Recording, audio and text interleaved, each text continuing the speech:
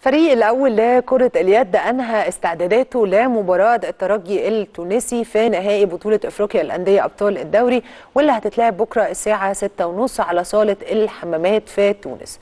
الفريق عمل تدريبات استشفائية النهاردة الصبح بعد الفوز على المنافس التقليدي النادي الأهلي في نص النهائي امبارح وبعد كده الجهاز الفني بقيادة الإسباني ماتيو جارالدا عمل محاضرة فيديو مع اللاعبين شافوا فيها مباراة الترجي والأفريقي في نص النهائي النهائي للوقوف على نقاط القوة في الفريق التونسي.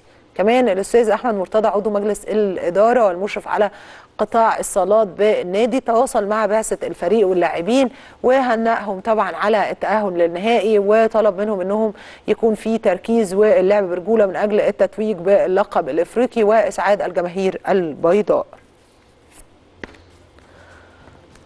نروح للجهاز الفني لفريق كرة اليد بقيادة الإسباني ماتيو جارالدا اللي عمل جلسة مع نجم الفريق حسن وليد قداح في الساعات اللي فاتت وده بعد رفع الإيقاف عنه من قبل الاتحاد الإفريقي وطلب منه التركيز في مباراة النهائي.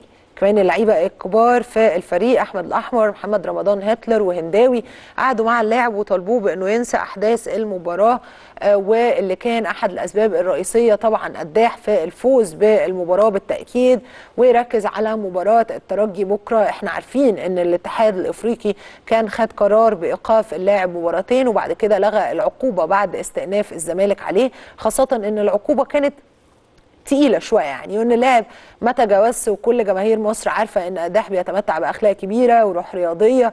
راجل كمان محترم وجرنت قوي وحماسة جدا حماسي جدا جوه الملعب.